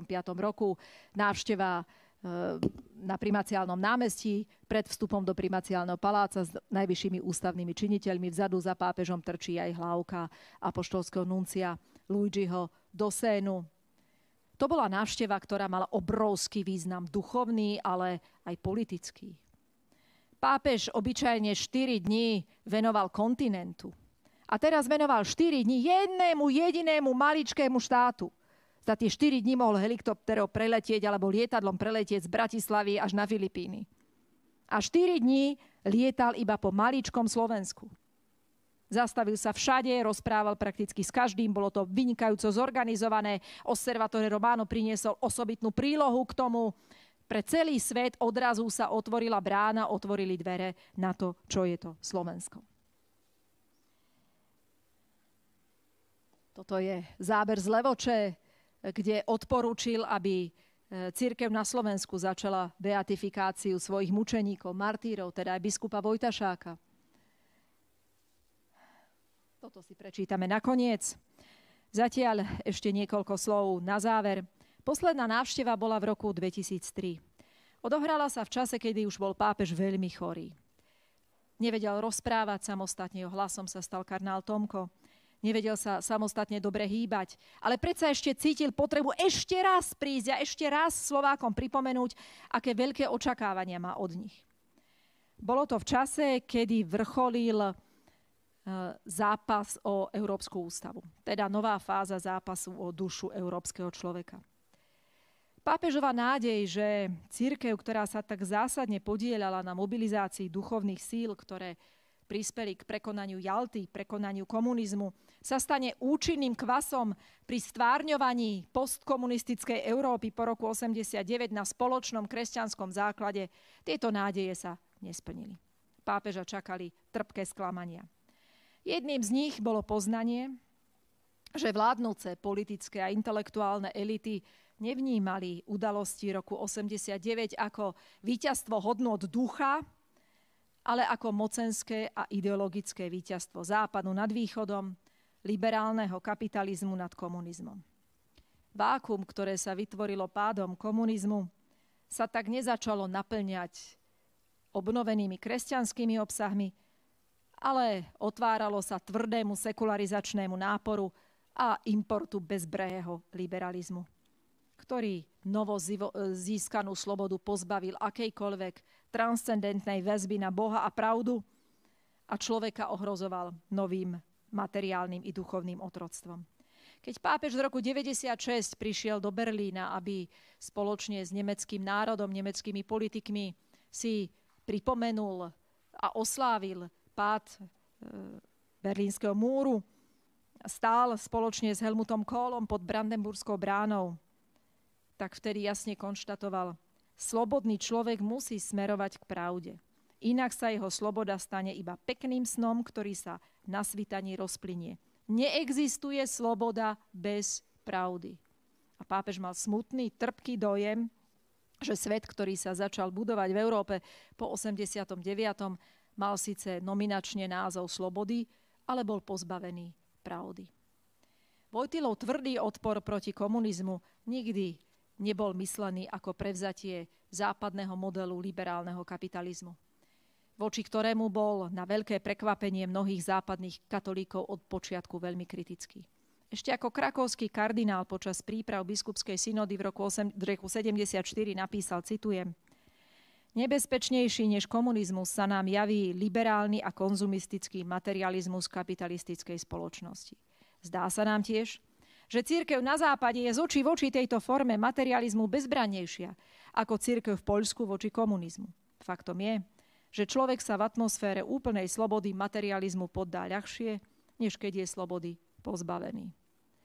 Tento svoj postoj potom pápež aj teoreticky, teologicky rozpracoval vo svojich sociálnych encyklikách, predovšetkým v dvoch.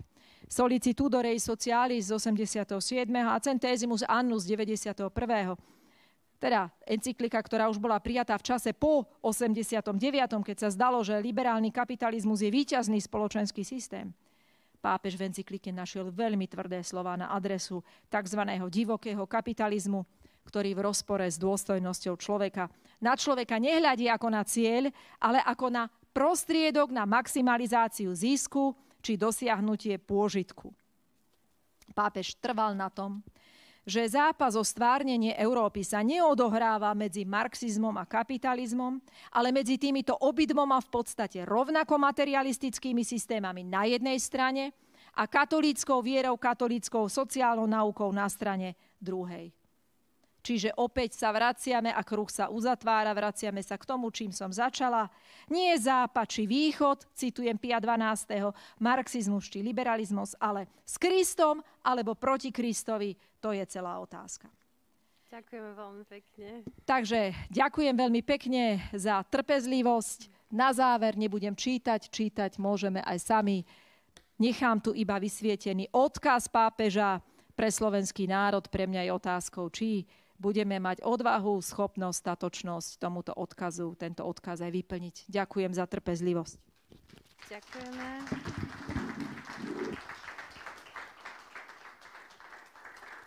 Ďakujeme veľmi pekne, pani profesorka. Počujete ma výborne. Ostalo nám pár minút na otázky. Je tu prosím niekto, kto sa chce spýtať pani profesorky niečo? A kým sa možno usporiadame. Povedali ste, že, že k slovenským bratom si úctu pápež vybudoval aj vďaka slovenskému prostrediu. Ako ste to mysleli? Pápež si veľmi dobre uvedomoval osobitný bezprostredný vzťah e, cieľometodského dedičstva a Slovákov. Napokon celkom otvorene povedané, boli to naši predkovia, ktorí boli prvými adresátmi ich misie, keď potom tá misia bola univerzálna, veď všetci svetí patria celej cirkvi ale tými prvoradými adresátmi boli naši predkovia. Toto osobitné puto si pápež uvedomoval a preto sa veľmi často aj radil so slovenským prostredím, akým spôsobom valorizovať toto dedičstvo, respektíve aký, aký, čo nájsť, aký kľúč, e, ako mobilizovať všetky tie myšlienky, ktoré som tam vymenovala.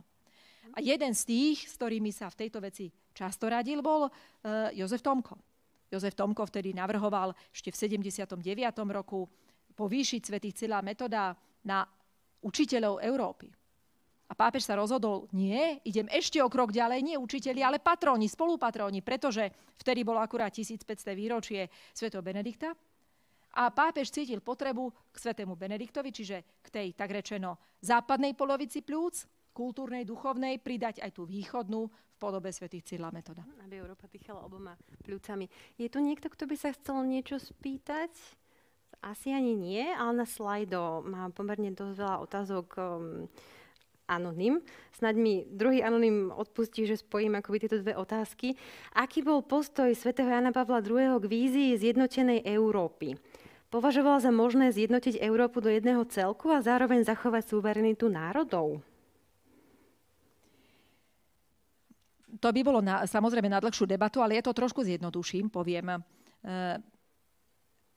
Zjednotená Európa duchovne, kultúrne, samozrejme aj z hľadiska ekonomickej výmeny áno, ale pri zachovaní úcty k európskym národom, ich kultúram, identite, čiže Európa národov, model Európy národov, zjednodušene povedané.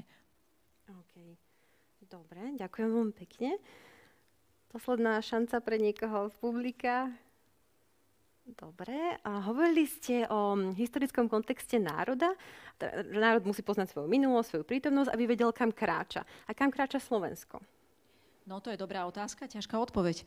Ja si myslím, že práve preto, že Slovensko má veľmi narušený vzťah ku svojim dejinám, e, má veľmi chabú, až temer neexistujúcu historickú pamäť a historické povedomie. Práve preto je v dejinách, a vidíme to aj dnes okolo seba, skôr takým tým lístkom, poletujúcim vo vetre podľa toho, z ktorej strany akurát fúkne e, a nemá to svoje pevné ubikon zístam, ktoré by mu dovolilo mať jasnú predstavu o tom, aké je jeho miesto, akým smerom sa má vyvíjať, čo je jeho identita, čo sú jeho záujmy. To je dôsledok presne e, tej narušenej historickej pamäte a historického povedomia.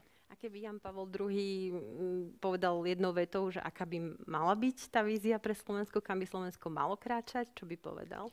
Povedal by, nebojte sa E, nebojte sa čítať vaše dejiny vašimi očami, nebojte sa vrátiť sa k základným pilierom vašej identity.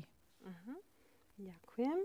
A opakuje sa tu aj otázka, či by bol Jan Pavel II kritikom Európskej únie. E, Jan Pavel II bol veľmi silným kritikom Európskej únie, ale opakujem, e, on vychádza z toho, že iste Európa sa má zjednocovať, ale napokon európska spolupráca, európske zjednotenie v zmysle e, výmeny e, kultúrnej, duchovnej, ekonomickej, to nie je otázka 20. storočia. Veď e, stredoveká Európa bola čo? Stredoveká Európa bola jedna úžasná symbióza politických, duchovných, národných entít, ktoré žili vo vzájomnej výmene. My si dneska myslíme, že iba Erasmus program vymyslel putovanie od univerzity po univerzitu. No a čo stredoveká peregrinácio akadémika bolo čo? To bolo to isté, len ešte slobodnejšie, voľnejšie v spoločnom e, európskom kresťanskom civilizačnom duchu. Čiže e, tá myšlienka európskych hodnôt je čosi kresťanské, len presne na tom trval pápež. To musí aj kresťanským zostať. Čiže Európa kresťanských národov a nie e, železobetónová ekonomická mašinéria, ktorá hluší a ničí identity národov a cíti iba pragmatickú potrebu zarobiť alebo zhromažďovať nejaký politický kapitál. Mhm, ďakujem. Ak ozaj nikto nič... A predsa, je tu otázka.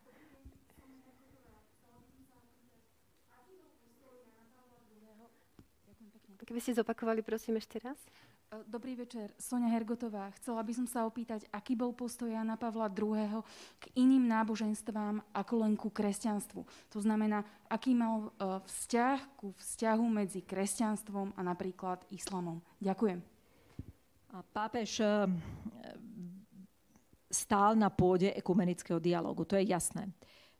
Heslo Asisi stretnutie, medzináboženský dialog stálo na pápežovom programe. Ale zároveň dialog, ktorý e, nenarušuje, nevyprázdňuje vlastnú identitu. Jeho najbližší spolupracovník e, Jozef Ratzinger, ktorý vtedy stál na čele kongregácie pre náuku viery, to jasne povedal. Dialog chceme a musíme viesť, ale nie je taký, pri ktorom vypredávame svoju vlastnú identitu. A to platí samozrejme pre všetky zúčastnené strany. Tak, ako som povedala, iba povedomý národ, ktorý má svoju identitu, svoju kultúru, môže viesť dialog a žiť v symbióze s druhými národmi, vykorenený národ nie. A to platí aj pre medzináboženský dialog. Iba e, církev, náboženstvo, ktoré si je vedome svojho ubikonzístam, má vôbec e, predpoklady duchovné, mentálne, psychické, praktické, aby viedol s, niekým, s niekým iným dialog.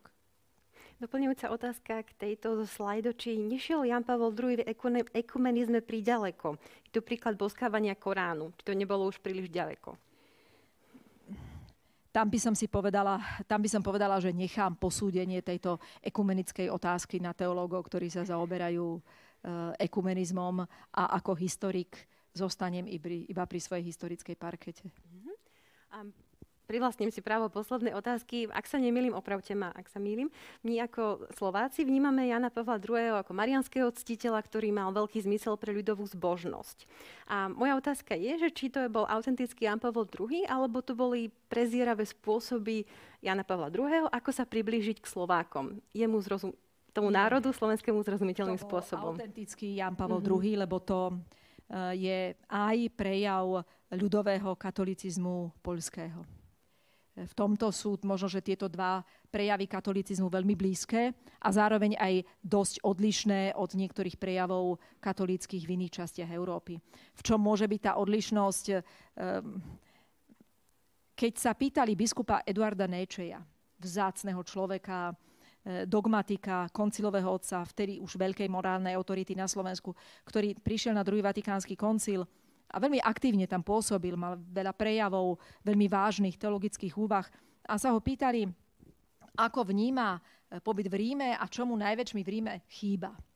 A biskup Nečej povedal, e, Rím vnímam e, s úžasom, s bázňou ako miesto prvých kresťanov, ako miesto, kde môžem byť svetkom vitality, veľkoleposti univerzálnej cirkvi. A čo mi chýba? Chýba mi spev slovenských žien v kostoloch. O, neviem si predstaviť krajší koniec. Ďakujeme veľmi pekne, pani profesorka, že ste si našli čas a obohatili nás týmto prínosom aj za zodpovedanie otázok. Ďakujem i publiku za podporu a otázky. A poprosila by som Tomáša, poďakujeme pani profesorke Potleskom a Tomáš nám uzavrie tento večer.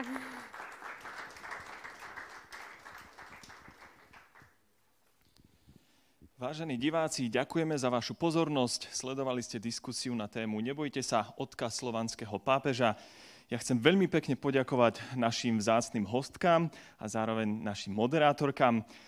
Poprosím ešte jeden potlesk.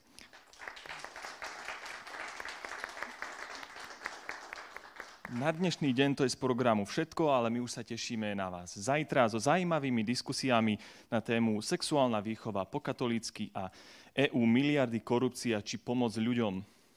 Už čoskoro túto diskusiu budete môcť vidieť na našom YouTube kanáli. Lajkujte, zdieľajte. Chceme tiež poďakovať všetkým našim partnerom. Veľvyslanectvu Poľskej republiky, Lisina Roško Partners, Turbilon, Káva di Bosko, Vinohradníctvo Stevino, mediálnym partnerom Nové mesto, Slovo Plus, Rádio Lumen, Rádio Mária, Týždeň, Bezhraničná, našim hlavným partnerom Fondu na podporu umenia, ktorý podporil toto podujatie z verejných zdrojov a taktiež spoločnosti Plaut. Zároveň hlavným mediálnym partnerom je Postoj. Ďakujeme tiež všetkým našim podporovateľom. Organizátorom tohto podujatia je spoločenstvo Ladislava Hanusa. Pripomínam, že ešte stále sa môžete prihlásiť na 32. formačno-akademický program. Môžete tak urobiť do 4. oktobra. Vážení diváci, ktorí nás sledujete prostredníctvom internetu, aj vy sa môžete podieľať na chode tohto festivalu a to úplne jednoducho, ak nás podporíte kúpou virtuálneho lístka. Zároveň tu mám ešte stále oznam pre našich divákov v sále. Pripomínam, že stále platí pravidlo ROR, takže nosenie rúška, dodržiavanie odstupu a tiež zákaz podávania rúk. A teraz vás poprosím, vážení diváci, aby ste opustili sálu a urobili tak cez otvorené dvere, ktoré sú na po vašej pravej strane. Ďakujem veľmi pekne a prajem pekný zvyšok večera.